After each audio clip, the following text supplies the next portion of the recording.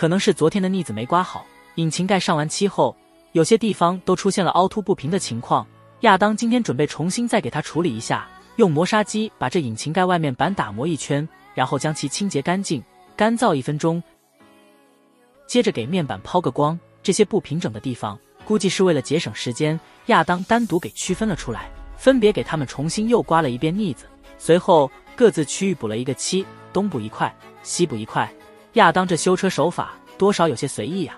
正常整个引擎盖都需要重新做漆的，好在是纯黑色，不太容易看出色差，可能是自己开的车子，没那么多讲究。保险杠咱们也给它抛个光。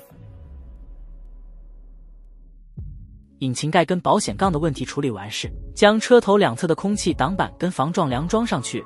看到副驾这个前大灯，亚当心里有说不出的苦，一千二百码内就这么没了。主驾这边的大灯，原本这块区域都被撞开裂了。修复后的品相虽然难看了点，但是不影响正常使用。咱们启动车子测试看看两边的大灯是否都能工作。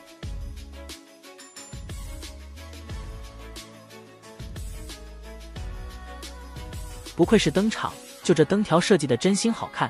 可惜现在是白天，要是晚上，效果肯定会更好。将这散热器的进气口组件跟空气箱装回去，前格栅亚当定了一个新的，给原车这个格栅上面的车标拆卸出来，装到这个新的上去，再将格栅与保险杠进行组装。之前在试车的过程，亚当发现副驾这侧的前轮悬架有跑偏的现象。他猜测可能是转向节或者减震器及下摆臂的紧固螺栓松动导致，于是给紧固螺栓都拧了一遍，两侧翼子板上面的划痕。在处理引擎盖的同时，亚当已经都给它修复好了，保险杠安装完事。这辆奥迪 A7 修到这里也就完工了，咱们开出去跑一圈试试。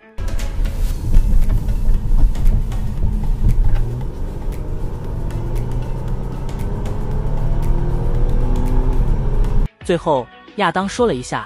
这车子的总维修费一万三千七百五十码内。